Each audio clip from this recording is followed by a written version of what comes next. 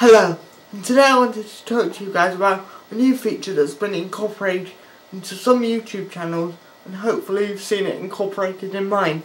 That is Google Moderator. Now, what Google Moderator allows you to do, is submit ideas or suggestions or uh, um, things to YouTube channels, kind of like comments but in a, more focused suggestions type of way. And then that allows people to vote on them so that video producers can see what what their audience wants the most by what people vote in.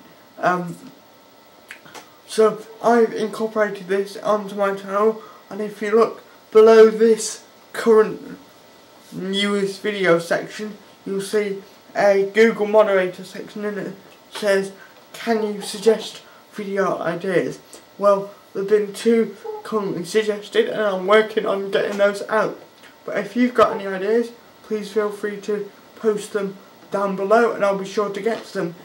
You can also post ideas in video format, kind of like video response. I, I'd like to get some videos going, so if, you, if you've got a webcam and a microphone or a camera and a microphone, you can po post a video suggestion so we can all see you and get to know the people that are in our community.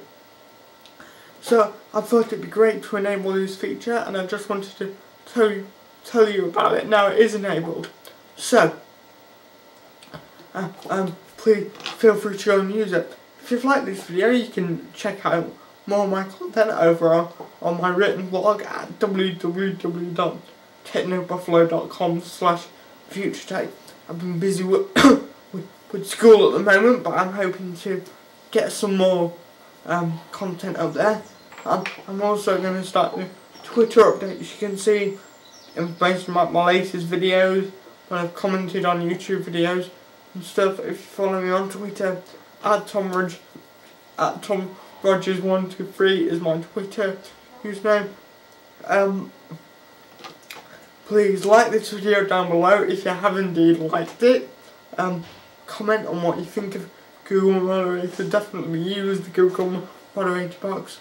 And yeah, once again, thank you for watching this video guys.